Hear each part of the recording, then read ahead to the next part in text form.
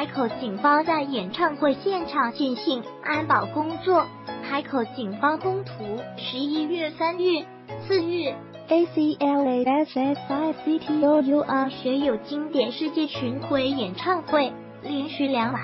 在海口富游和文化体育中心开唱，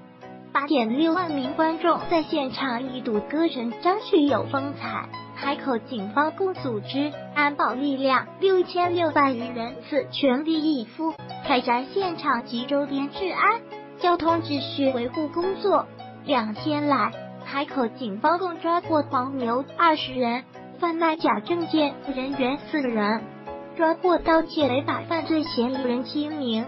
缴获假证、假演唱会门票、假 CD 等物品一批。接受观众求助一百六十余人次。演唱会期间，海口市公安局主要领导在现场指挥督导交通、治安等安保工作。各单位、各警种参战民警发挥连续作战的优良作风，连续两天提前四小时到岗，扎实开展防暴安检、疏导交通秩序维护。服务群众等各项安保工作，由于前期及时发布交通出行提示，合理化